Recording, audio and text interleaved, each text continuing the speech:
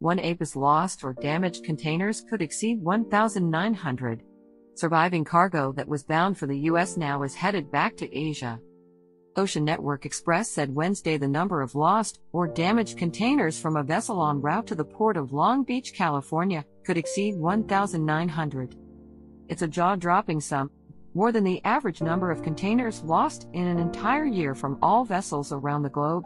And the accident comes during the last rush to get Chinese exports into U.S. consumers' hands before Christmas. It's too early to know the contents of the lost containers.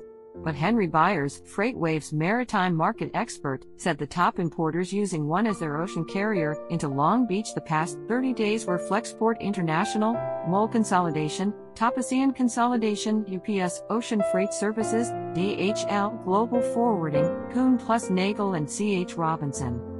Other one customers through Long Beach include Penguin Random House, Wilson Sporting Goods, and Hasbro. According to a container incident online information center, the one Apus was en route from Yantian, China, to Long Beach at about 11:15 p.m. Monday when it encountered a violent storm cell producing gale force winds and large swells, which caused the one Apus to roll heavily, resulting in the dislodging of the lost containers approximately 1,600 nautical miles northwest of Hawaii.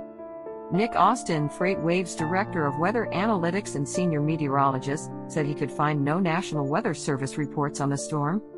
Austin said a storm cell is usually very localized, not covering a large area like a typhoon or hurricane.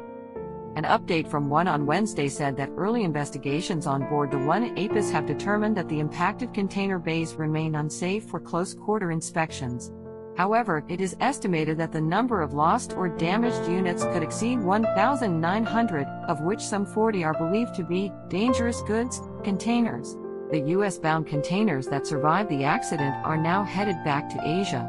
One said Wednesday the Apus is sailing toward Japan, with plans to seek a suitable port to right unstable containers, assess any damages, and determine the exact numbers of containers lost. On Thursday, one confirmed the Apus was sailing for the port of Kobe, Japan, with an estimated arrival of Tuesday. Once berthed, it's expected to take some time to offload the dislodged containers that remain on board. Then a thorough assessment will be made on the exact number and type of containers that have been lost or damaged, one said. The Apus is 364 meters long and 51 meters wide and has a carrying capacity of 14,052 20 foot equivalent units. The registered owner of the Apus is Chidori Ship Holding LLC, and the listed manager is NYK Ship Management. One is the charter of the vessel, which was built in only 2019. According to the World Shipping Council, container losses actually are few and far between. In fact, AWSC report issued in July said an average of only 1,382 containers were lost at sea per year between 2008 and 2019. One of the highest profile cases this year was the loss of 50 containers from the APL England off the coast of Australia in late May. The master of the container ship was charged in Australia for not ensuring the vessel was operated in a manner to prevent pollution of the marine environment.